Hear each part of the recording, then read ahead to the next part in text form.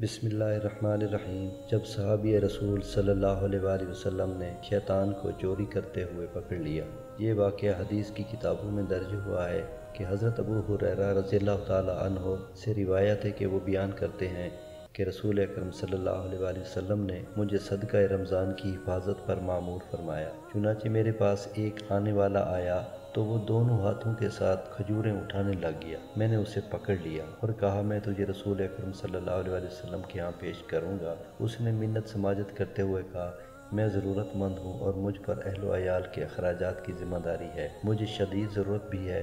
हज़रत अबू हुरैरा रज़ी अल्लाह ने बयान फरमाया, मैंने उसे छोड़ दिया। सुबह हुई तो नबी अकरम सल्लल्लाहु अलैहि वसल्लम ने फरमाया, ए अबू हुरैरा, गुज़िश्ता रात का तेरा कैदी कहाँ है? मैंने अर्ज़ किया अल्लाह के रसूल उसने अपनी हाजतमंद होने और कसरत आयाल का ज़ोरदार अंदाज में शिकवा किया, चुनाच मैंने उस पर तरस खाते हुए उसे छोड़ दिया।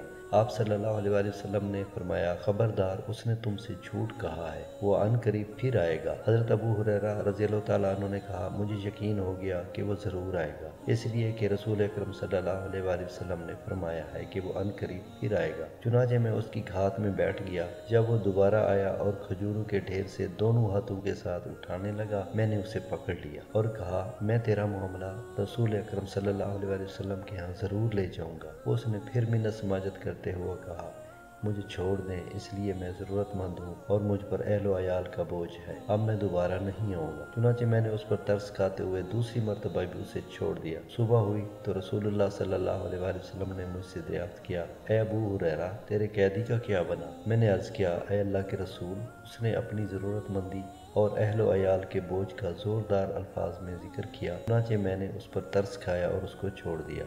आप सल्लल्लाहु अलैहि वसल्लम ने फरमाया उसने तुझे झूठ कहा है, वो फिर आएगा। चुनाचे मैं उसकी घात में बैठ गया। वो आया और खजूरों के ढेर से दोनों हाथों के साथ उठाने लगा। मैंने उसे गिरफ़्तार कर लिया और कहा कि आज मैं ज़रूर तेरा मामला रसूलुल्लाह सल्लल्लाहु अलैहि वसल्लम की खिदमत में ले जाऊँगा। अब ये तीसरी बार और आखिरी बार आए तुम कहते रहे हो कि मैं वापस नहीं आऊँगा, लेकिन तुम फिर आते हो। उसने कहा, मुझे छोड़ दे। मैं तुझे ऐसे कलमात बताता हूँ, जिनसे तुझे फ़ायदा होगा। जब तो जब तो अपने बिस्तर पर लेटे तो मुकम्मल आयतुल कुर्सी पढ़ कर, उसकी तिलावत से हमेशा तुझ पर अल्लाह की जानब से मुहाफ़ मुकर होगा और सुबह होने तक शैतान तेरे करीब नहीं आएगा। इस पर मैंने उसको छोड़ दिया। सुबह हुई तो रसूलुल्लाह सल्लल्लाहु अलैहि वसल्लम ने मुझसे दरियाफ़त किया। तेरे कैदी का क्या बना? मैंने अर्ज़ किया। उसने मुझे कहा कि वो मुझे चंद कलमात सिखाता है, जिसके पढ़ने से मुझको अल्लाह का फ़ायदा होगा। आप सल्लल्लाहु अलैहि वसल्लम ने फरमाया, उसने तुझे सच्ची बात बताई, अगरचे वो झूठा है।